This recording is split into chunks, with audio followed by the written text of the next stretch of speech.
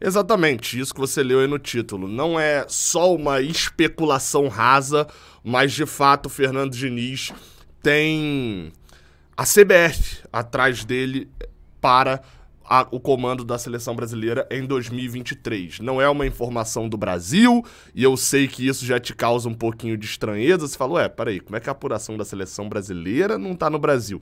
Você vai entender melhor tudo nesse vídeo aqui do Raiz Tricolor. Vamos embora? Vamos lá falar. Ah, você não conhece, sou Gabriel Amaral, sou jornalista por formação, mas sou tricolor de coração. E sou tricolor, né? Uma coisa não anula a outra, pelo contrário, se complementam. E vamos embora. É, pra gente começar a falar, a gente tem que falar que a notícia é do jornal Marca, da Espanha, beleza? Então, não é uma, uma, uma notícia brasileira. Ela é uma notícia justamente estrangeira. E você vai entender melhor. A notícia tá aí na tela. Brasil pensa, eu já vou ler traduzindo, porque o meu espanhol, vocês sabem, é muito avançado. Então, obviamente, é, a minha leitura ia ser plenamente saborosa para vocês. Mas vamos lá. Brasil pensa em Fernando Diniz como sucessor de Tite. Após as complicações de Guardiola, a CBF passou pelo técnico do passou pelo técnico do Fluminense. Lembrando, tá em espanhol, né? A matéria é do Mário Cortegana, que numa rápida pesquisa sobre ele, vou até abrir aqui, clicar para abrir o perfil dele no Twitter. É, ele é jornalista, né? Como era de se esperar, publica lá no jornal Marca da Espanha, a marca Mário Cortegana, e ele fala especialmente, ele é setorista de Real Madrid. Mas, obviamente, né, o jornal Marca é um jornal muito grande, ele, ele cobre também outras questões. Para quem não sabe, não lembra, enfim, a notícia. Acho que não sabe, né? Não tem como falar de não lembra, porque esse não era um assunto nosso. Caio Henrique, é, quando teve essa última transferência, foi uma notícia do Mário Cortegana. Foi ele que que é, é, deu essa informação em primeira mão. Mas vamos lá, vamos para Fernando Diniz. Apesar das grandes expectativas para a Copa do Mundo 2022, a Confederação Brasileira de Futebol, em plena renovação interna, segue planejando o futuro. Eu tô percebendo agora que a matéria já está em português. Que aparentemente eles ela tá traduzido automaticamente. Eu tô lendo aqui, tô falando, pô, espanhol tá, tá, tá esquisito, esse espanhol tá tudo igual, seria planejando aqui. O Qatar está no centro das atenções, mas os trabalhos continuam no próximo dono da bancada, dono né, do próximo treinador, com o nome de Fernando Diniz em destaque nos despachos, nas conversas. O atual técnico está muito bem posicionado para assumir as rédeas, ou seja, ser o comandante do pentacampeão mundial em janeiro de 2023. A primeira opção foi Pepe Guardiola, cujo irmão e representante, uh, ah, tá. Cujo, segundo irmão e representantes, houve várias reuniões, né? Com, eh, teve reunião, várias reuniões com o irmão, que é também empresário de Guardiola, mas as grandes dificuldades da operação reduziram ao mínimo as esperanças da CBF. O que isso quer dizer? Por que, que essa notícia está saindo na Espanha? Deu para entender já, né? Basicamente, porque a opção era Pep Guardiola, é, teve essa conversa, que a gente vai ver um pouquinho mais à frente na matéria, e a apuração passa a ser também da Espanha, entendeu? A, a lógica é óbvio, o treinador da seleção brasileira é de interesse mundial. Né? A gente não está falando do 15 de Jaú, a gente está falando da seleção brasileira. Então, é, passa a ser um interesse mundial e, principalmente da imprensa espanhola, a partir do momento que Guardiola foi sondado. E aí, quando é citado Fernando Diniz, é óbvio que se torna para eles também uma pauta de futebol internacional, porque eles cobrem futebol internacional também. Ó, o técnico do City com contrato uh, no clube do, do Etihad, né? No, no, clube lá do City, na, na empresa que patrocina o City. Patrocina. Até 2023 foi oferecido para assinar até 2026 por cerca de 12 milhões de euros por ano. 1 milhão de euros por mês, praticamente aí vão botar fixo 5, 6 milhões de reais por mês para ser seleção, treinador da seleção brasileira. Ou seja, parece que a CBF tem dinheiro, né? Ao que tudo indica, tem dinheiro, em quem diria? Foi uma proposta muito poderosa, muito forte, mas ainda para um cargo como esse. Embora também fosse menos economicamente do que o que Pepe recebeu em Manchester. Recebe, né, em Manchester. Ou seja, Pepe Guardiola recebe mais no City. é...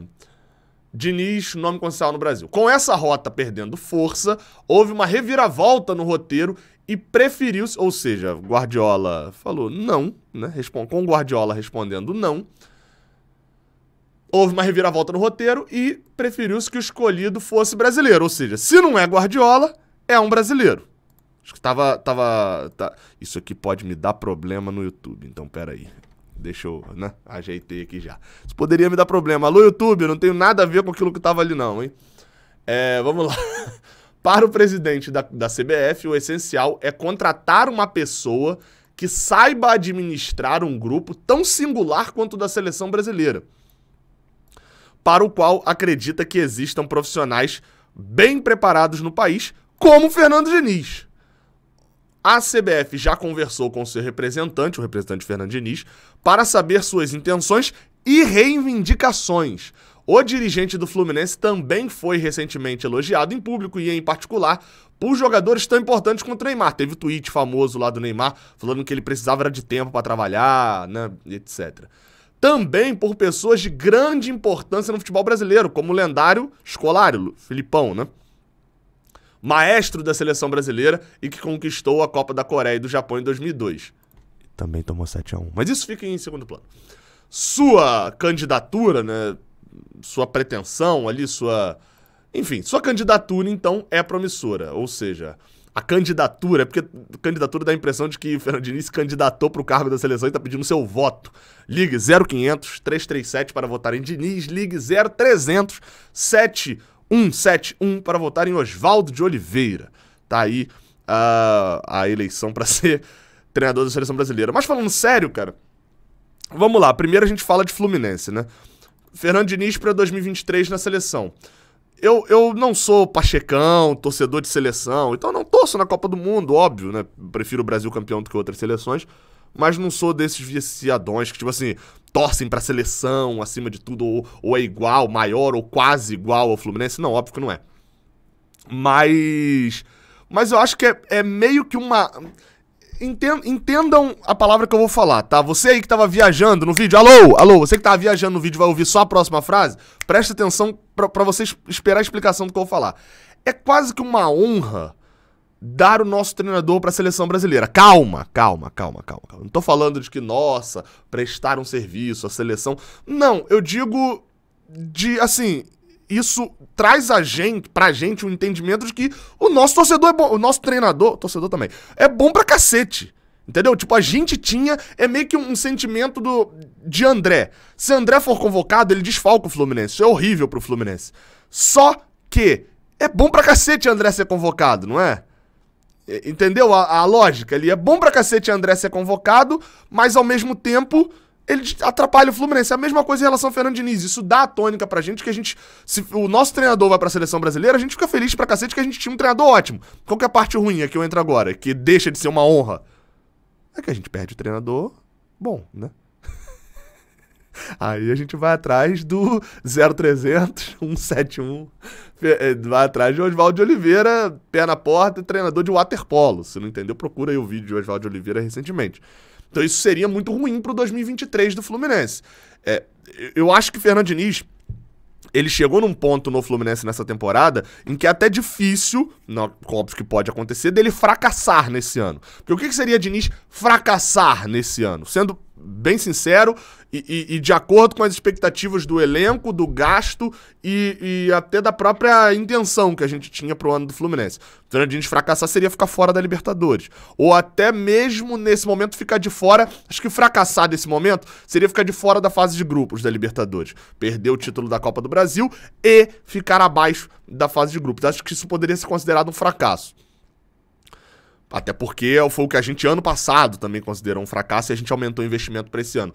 Ir para a fase de grupos da Libertadores, dá pra gente considerar que se ele for sendo campeão da Copa do Brasil, ótimo, um bom, ótimo ano, né? O Fluminense foi campeão nacional cinco vezes na sua história. Pô, então a gente tá falando de ser campeão de novo nacional, ganhar. O Fluminense só ganhou nacional e estadual duas vezes no mesmo ano, em 84 e em 2012. Então seria um dos, um dos anos grandes assim do Fluminense.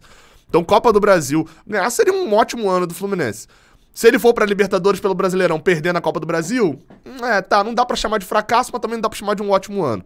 O que eu quero dizer com isso? Fernandinho tem tudo para fazer um bom ano no Fluminense, terminar em, em alta em relação ao momento em que ele chegou. Isso para 2023 seria importante. Eu não confio muito em Diniz montando o elenco. A gente já viu boa parte das contratações que Diniz fez e indicou. Algumas deram certo, algumas deram bem errado. Em 2019 a gente tem alguns exemplos disso. Tem ótimos exemplos, como Alan, como Caio Henrique, é, é, que você vai ter ali parte de indicação dele também. Mas você tem também indicações péssimas, como Evandro, por exemplo, que era também uma indicação de Fernando Diniz. É, Agenor também, né? Foi indicação dele. Então, o que, que eu penso assim sobre seleção? Acho que. Sobre seleção, eu não vou comentar que muito seria bom ou não para seleção, que eu já falei isso algumas vezes. Acho que o Diniz não é um treinador ideal para a seleção brasileira. Mas pode dar muito certo, como pode dar muito errado também, porque o, o, o ele depende muito do dia a dia. Mas pro Fluminense, acho que seria uma perda grande Porém, não dá para ignorar é, de que deixaria um gostinho bom assim na nossa boca, pelo menos na reta final desse ano, de saber que a gente está tendo o treinador da seleção brasileira.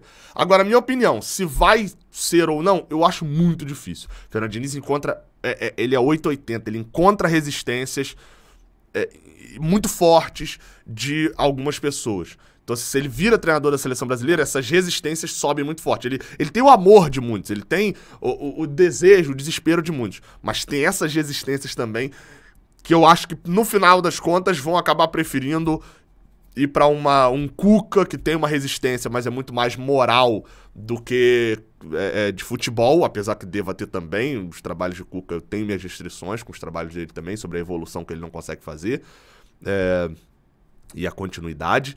Mas enfim, acho que vão acabar indo para uma bola mais de segurança. Mas é interessante a gente ficar de olho nisso. O Fluminense pode estar neste momento como treinador da, do próximo ciclo da seleção brasileira. Qual é a sua opinião sobre isso? Você acha legal ter o treinador da seleção brasileira aqui no Fluminense? Você acha que isso é uma merda? Porque você tá pensando só em perder pro ano que vem? Você tá focando muito mais no, nesse ano? Enfim, deixa aqui embaixo os comentários. Fato é, Fernando Diniz não sairia antes do final da temporada, isso é bem óbvio, né? Até a próxima, valeu.